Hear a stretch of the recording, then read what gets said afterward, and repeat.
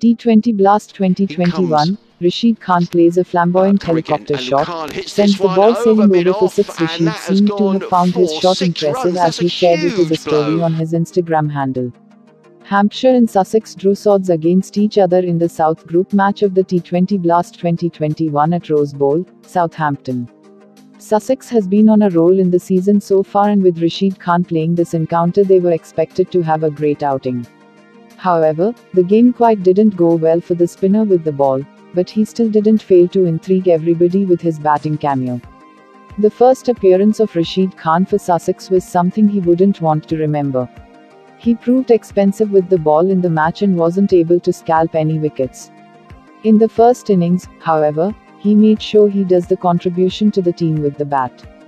Rashid played a quick-fire knock of 26 runs off 13 balls and assisted the team to put a competitive total on the board. Whilst his frenetic innings, he hit some belligerent shots to clear the boundaries. But one shot particularly stood out among the others which made everybody take notice of it. Rashid himself seemed to have found this shot impressive as he shared it as a story on his Instagram handle. He captioned it as, Now we need a name for this shot. Though his cameo helped the team to put a good score on the board, they weren't able to defend it. Rashid Khan conceded 45 runs but wasn't able to pick a wicket in the game, and that probably left the team to struggle. I had that kind of mentality in my mind that I have to be the best. Rashid Khan Rashid wasn't able to pull things with the ball around in this contest, but it is a known fact that he has been instrumental for every team that he has played for. He stands as the important cog in the wheel of the Afghanistan side with his extraordinary abilities.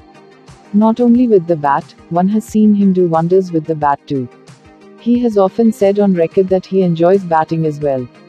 Recently on the Kurtley and Karishma show, he had asserted that he always wanted to be the best at his craft. I don't know if I am the best or not. Since childhood, while playing with brothers at home, I had that kind of mentality in my mind that I have to be the best. That is just how I grew up.